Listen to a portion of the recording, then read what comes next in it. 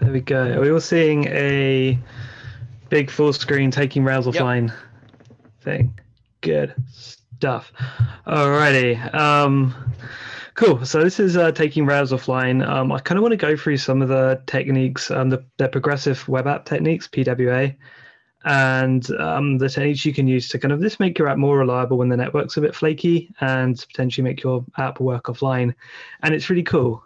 Um, so what are we going to do? Um, I'm going to kind of give you some fun scenarios. We can where this is kind of applicable. I'm going to kind of show you how to do it and then show you some libraries to like do it way faster because you know who wants to have to write and maintain lots of code? And then we'll go through some gotchas and some wins. I think it'll be about 15 to 20 minutes. And i have a little demo if like i run through this way too quickly. Um, and hopefully you'll enjoy it. Um, so throw up some emojis if this scenario sounds really familiar. Um, have you ever been on a train and you're like wanting to read the like the the news and you get to the site and it, the, the network is down and you can't read it? So that will sound quite familiar? Like thumbs up, nice. Okay, cool. I'm seeing lots of thumbs up. That's good. Okay, what about you're at home and then someone starts torrenting on your network or downloading a big file, and the website you want to go to, to view is just a bit slower now? That happened to someone? Okay, cool, cool. And lastly, have you ever like been visiting a website and then it just like goes down while you're using it and you can't look at it anymore? Okay, cool. So these are all really, really good um, like things which like uh, the PWA techniques are good for mitigating against, where we can kind of like just kind of just make things more reliable, and it's it's quite fun.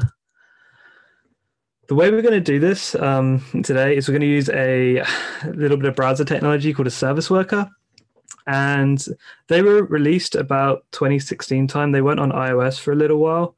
Um, who's heard of them? Um, they have really good support now. So everyone kind of, yeah? Yeah. All right, cool. I'll, I'll go through through them then.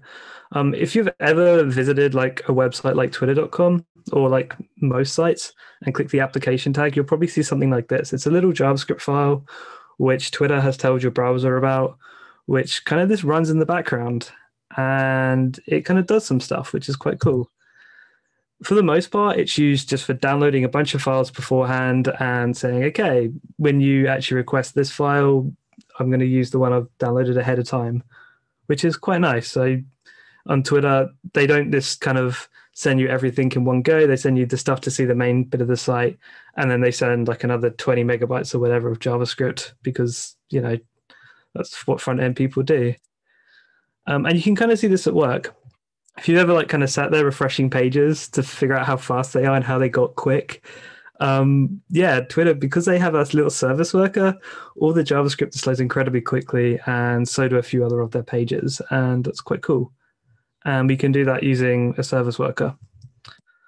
Um, and if you perhaps go offline or their network becomes inaccessible, they have like a nice fallback as well, which I think is kind of a nice thing to have on a website. And you can totally do this with Rails and a little dash of JavaScript. Um, and if you even want to have a bit more fun as well, um, if you're in Firefox, you can go to like about debugging and have a look at all the service workers which are running. I totally recommend it. It's probably like a list about lines big or something of all the ones you've collected. And if you smash the inspect button on the page, which is like there, you can have a little peek at their code and see what they're actually doing and how they're using this little JavaScript file. So I've talked a lot about service workers and I probably haven't explained them that well. But when you traditionally like request like an application, like as a user, you're probably just going to make your request out to the internet and then you'll get the data back. When we add a service worker to that, it sits in the middle of that request and lets us tamper with it. So, um, and it's a JavaScript file, but the browser will go, okay, let's go through the service worker. The service worker will say, yep, um, I've got this file cached. Use this cache of over here don't even touch the network. Or it'll be like, you know, ask the network first, and if you fail, we'll fall back. The cool thing you can do there is if the internet suddenly disappears, then you can just always use the cache, like kind of pragmatically. Does that all kind of make sense to everyone? Everyone kind of keeping up? Cool, nice. All right, so how do we add this to our Rails apps? Because, you know, it's, it's quite fun to use them. So we have to do a little bit of JavaScript. Um, don't worry, I'm not going to have too much JavaScript in this talk. I know we're all Rubyists here, but this is like the first thing you'll need to do. And the first thing we do is kind of check that the browser does support service workers. With this kind of line up the first line here, and then we wait for the page to be kind of loaded and ready, and then we go tell the browser to go download this file, go check it out, go register it, and the browser will go, oh yeah, I will go download that file and I'll go run it. That's cool. And normally they're called like service worker JS. And so you can stick that in your application.js file and that will just start doing stuff. And then if you want to kind of get started really, really quickly, um, I had a lot of fun just dropping a file in like public slash service worker, the public folder, and just dropping like some raw JavaScript in there where I listened for like some key events which the service worker things are kicking off. So the install one is when it's kind of first seen, and for that you normally like just download a bunch of stuff. And the fetch one is where uh, like the browser's actually making a network request. And in this case, I literally just went to that debugger thing we had um, earlier, whacked in like console log and a few other things, and just kind of had a mess around to see what happened. And it was quite fun. Um, and there's also this really awesome website called serviceworke.rs, which I thought is such a good fun. Um, and it's a cookbook made by Mozilla where they have like all the little JavaScript snippets you can copy and paste and like kind of mess around with. Um, by the way, um, I'm going to drop all the links to everything I'm mentioning in the chat afterwards. If you want to write anything down, just don't worry about it. Um, and yeah, this this website's pretty nice. It's like literally big JavaScript files. They've annotated everything. You can copy and paste it, and then you can mess around with what you want to do and they've got all the various techniques for like caching or like the strategies even. So like if you want to always have stuff on the cache then it will show you how to do that or if you want to try the network and then fall back to the cache it will show you how to do that. However we are rails people and is there a gem for that? There are two gems which is pretty good. I'm, i was so happy when i found these two. So we've got service worker rails and webpacker pwa um, i tried like both of them out and i thought they both were pretty good um, so I'm going to quickly run you through how they both work, what's the benefits of both of them, and we'll have a little bit of a mess around with them.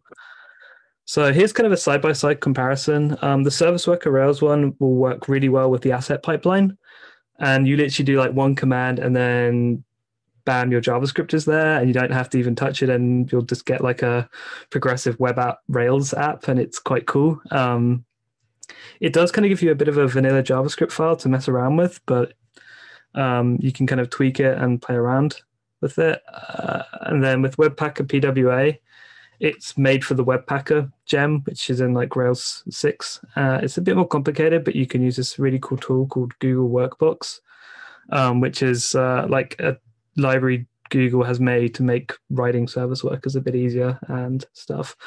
Don't worry, um, I'll give you a quick demo of that as well. Um, so with server worker Rails, to kind of get it going, you just do bundle add service worker Rails that adds it to your gem file and runs bundle.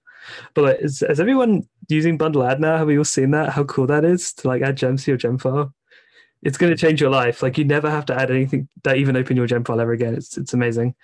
Um, I digress. Um, and then once you've added that gem, you'll get that little generator specifically for that service worker, like set of files, and it's going to add a bunch of files to your repository and you can probably take a best guess about what like most of these will do. So um, you've got like the modification to the application JS is it's just adding some extra stuff in there. Um, the manifest, it's again, it's kind of telling the browser about some stuff. The service worker is it setting stuff up, and the other stuff is it just adding extra bits. And you can mess around with the gem and have a look at them. It's very like you look at it and go, oh, that's like one line, and it's very ah, like I can figure that out. But we're going to go through the ones I've highlighted quickly. Um, so in this JavaScript file, it uses uh, ERB like js.erb to kind of load up stuff like your application.css and kind of create a nice array of files you want to cache ahead of time and an offline file.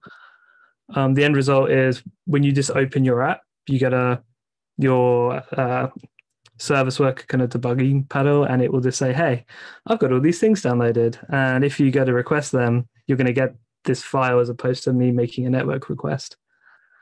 Um, and then you also have this little magical bit of JavaScript where it's like, okay, I'm going to try the network first. And if I can get a response, then I'll return that. Otherwise, I'll check my cache. And it, it's in there. You can kind of have a look in the file, but that's the main main gist. You can see it kind of says if it doesn't have the file, it's going to return the offline file.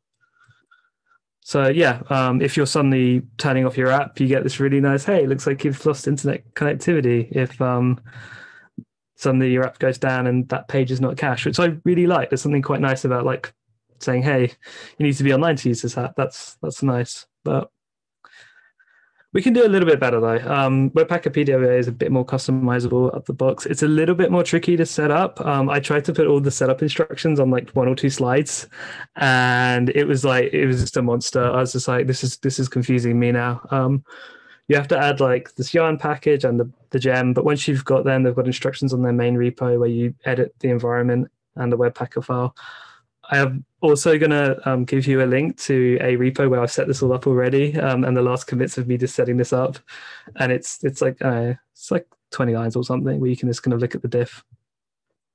But the cool thing is you can use this tool called Workbox from Google, which this is how you kind of tell the browser like, hey, um, if someone's making a navigation request, let's cache that and try the network first. And I feel there's something quite readable about this code. I'm not sure if anyone's trying to make sense of this, but yeah, it's like he's register a route, and yeah, I feel that's a bit more, bit more readable than what we had like on that.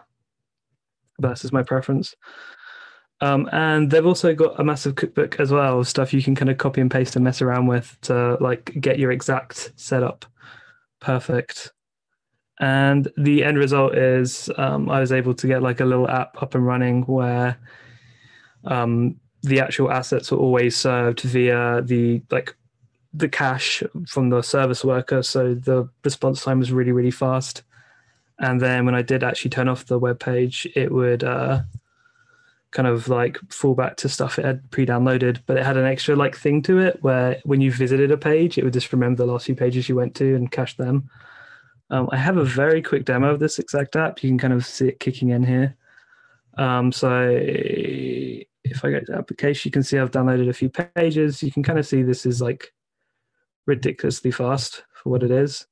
But if I was to then like put myself on a slow 3G connection, it's still really quick. And if you look really closely at what's going on in the network, it's actually making the network request like uh, like it's it's going to make the network request. The network request is too slow, so it's loading the cache which is really cool. So if you're like um, Heroku dynos falling asleep, it's quite fun for people. Or you're doing a deploy, it's kind of speed stuff up. And then if you also take your app completely offline, everything will still kind of work quite nicely. You can see the um, the actual network request is failing and it's just loading the cache. But then if you go to look at something you've not like seen before, then it will just throw like a hey, you're offline, which is kind of cool. I really like that. Uh, did I just break that? Okay, maybe that just broke that's cool. Um, cool. So it is a little bit hit and miss sometimes as well. Um, so I think that's like quite a cool thing we can do. We can make like our apps like just a bit more resilient to not relying on the network as much for stuff, and that gives us a nice performance boost. And yeah, you can kind of see what I just showed you there. Cool. Um, but there are some gotchas. Um, you can kind of tell, like I've got like a love hate relationship with, like service workers. Um, the URL always has to be the same. You can't use like an asset hash or anything in it, otherwise you'll just register like hundreds of them. So if you're using like uh, the asset pipeline and trying to just output a file, that just won't work. That's why I, was, I started off putting stuff in slash public. Um, the amount of data you can cache is it varies wildly based on the device you're like kind of trying to target. So if you're targeting like an Android phone, it's a lot less, and if you're targeting a browser, it's more. Um, I figured out it was about 25 megabytes based on a Stack Overflow post is about the safe amount you can cache, which is nice. Um, and um, I got really screwed while I was building this. Um, I had a service worker running, and it was making my site look like it was working fine when my server was off and I was frantically refreshing a page and like nothing was changing. And I was like, what is going on? Am I an idiot? And turns out I was an idiot. So that was, I felt great. Um, it's also like because you're messing with requests. So as you know, you're putting your request for a service worker, you can totally end up giving yourself a bad day. Um, one of my friends, they added a service worker to their website and it was all going like really great. Um, they weren't getting any emails or any messages. They thought everything was fine.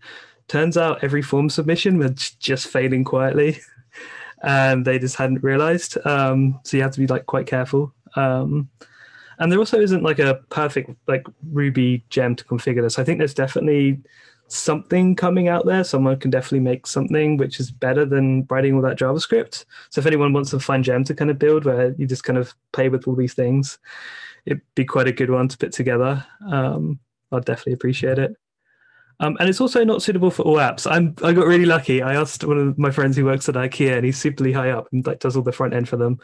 And he was very clear that this is just his opinion and not the company's one. But he kind of said that if people aren't visiting your site that often, it's kind of not worth the effort of building a service worker and maintaining the PWA stuff.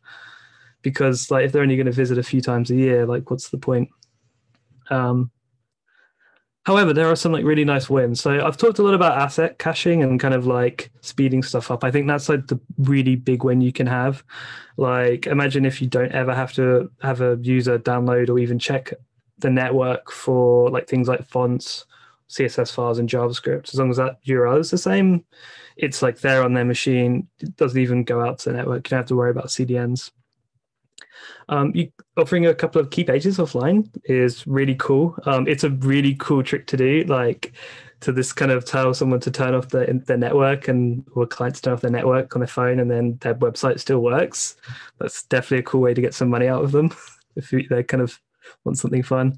Um, the good example I'd kind of use for that is like news article websites um, where like maybe you want to have the top things cached and you can do some cool stuff like pushing content to users um, the other ones are kind of like you know fetching content ahead of time because you can tell the browser to go download something. So if you've got like an endpoint which is slow, like um, maybe with Jason's one where you had that slow request, uh, if you can't be maybe if you can't figure out what is making it slow, or maybe it's just a slow has a lot to do, you could get the user to request it ahead of time um, using a service worker and the response which is cool. And also DDoS mitigation is the other really cool thing. Um, has everyone heard of Parler? Like we all heard about that in January um, where they they ended up using progressive web app techniques to temporarily like keep their site in a read-only mode for people, which I thought was like they're totally evil, but like what a like as an engineer, that's incredible. That was really clever. I thought, um, cool. Um, and if you are kind of curious about learning about more about service workers, um, specifically in PWAs, really good timing. DHH um, was talking about Hotwire, and then I casually noticed he had this tweet where he was like, um, if you want to make your apps offline with Hotwire, a service worker is kind of a potential good way of doing that. So I'm, I'm wondering if like maybe something's coming in Hotwire for um, PWAs, maybe. If not, they're still like I'd really love it if someone made a good gem. Um, cool. That is that is everything. That's me. Um, so I'm Mike Rogers. Um, I've got like a Twitter handle. I'll drop some links in a second. Um, did everyone find that quite good? Very handy? Are we all excited to try out PWAs? Good stuff. Fantastic. Right, I'm going to drop some links quickly uh, to everything I've just done. And Mike, first of all, sure. thank you for joining us from London. Oh, and, oh, no worries. and are you happy if anyone has any questions for them to ask you right oh, now? Oh, yeah, yeah, go for it. So if anyone... Yeah, go for it. Um, and if you are, yeah, well, uh, Mike, gonna... hey, oh. Julian here. Uh, I have a question for you uh, around the compatibility with, like, with um, TurboLinks or like uh, Hotwire Turbo. Oh yeah, yeah. Um, because okay, yeah. you're serving the like the cache from the service worker, but Turbo also yeah. creates a cache that shows like while the request is coming and going. Uh, so how, how do yeah. those two like uh, talk to each other? Okay, cool. Um, so I worked on the assumption that TurboLinks is great, but if you've already got the cache in the uh, service worker, it's probably better just to turn off the TurboLinks cache. Otherwise, you're probably going to have a bit of a bad time. I did have to write like a bit of extra code in one of my demos to be like, hey, if the request is a TurboLinks request, treat it a little bit differently because it's an AJAX request. Um, but generally you can like run them side by side and it will just work. Like it's not going to be like a huge you're not going to like the only reason I say turn off the TurboLinks cache is if you've got a service worker is just because you're not caching it twice. But it generally will just work fine once you're going to get it going. Is that that good? Cool, yeah. So that was a bit of a rambly answer. I think Brendan, you had a question as well. Did I hear your voice? No. Okay, so did someone else have one?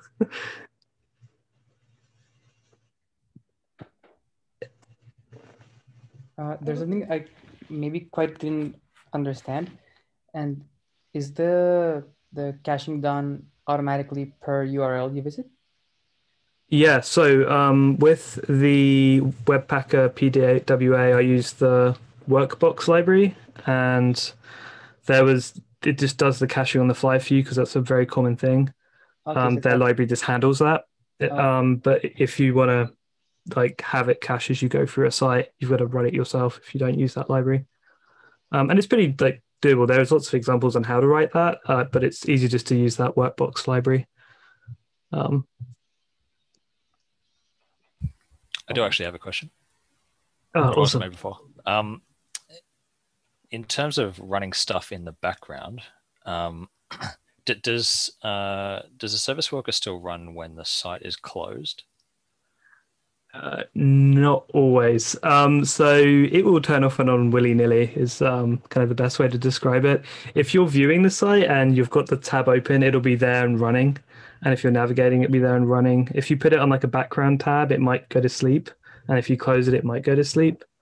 But um, yeah, uh, that's kind of the best way to describe it. they're not as persistent, but they're very good for like if you've got it bookmarked on your site, it will cache that data and store it for a good period of time.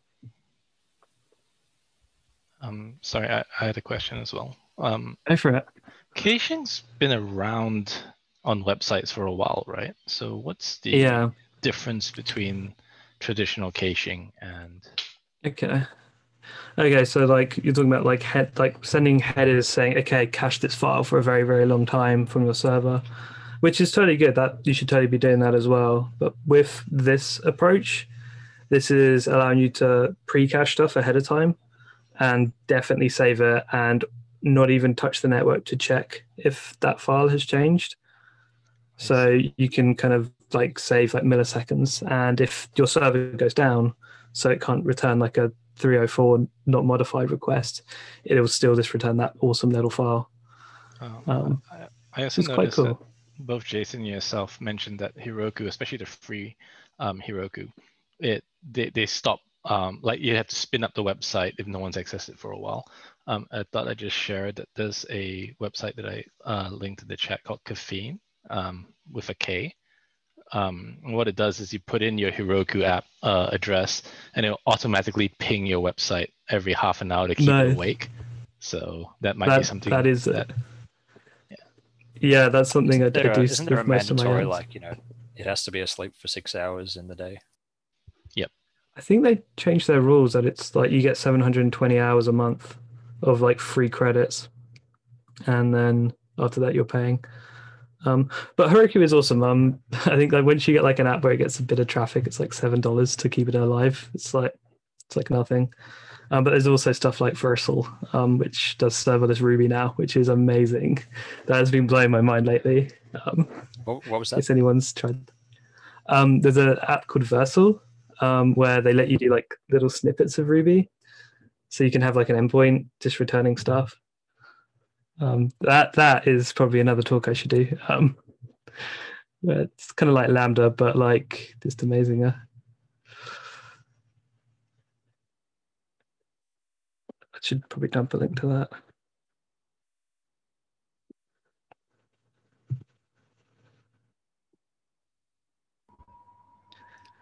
I, would love to ask what PWA yeah. I'm in I'm in the wrong end of the stack to know what those are. Oh. So please, if, if you don't oh, mind, that would be amazing. Yeah. Um, so PWA is like a progressive web app. It's the best way to kind of describe it is like you give like a little bit of extra a bit of extra information to the web browser when it loads your site to say, hey, if you add me as a bookmark, use these icons based on the screen size. And here's some extra places you can start. So if someone adds me to the home screen, they can go to a very specific page and it kind of feels like a mobile app and it's kind of like a collection of technologies where once you start saving stuff on offline your web app starts feeling super native without that much work. And that's kind of like the coin term for it. Um, it's kind of hit and miss right now though. Like iOS kind of doesn't really want it to ever take off, but they introduce some bits of it. But it's definitely quite fun. Like it's in most browsers, and you can use it to get some nice performance wins. Thank you. Cool. No worries. Cool.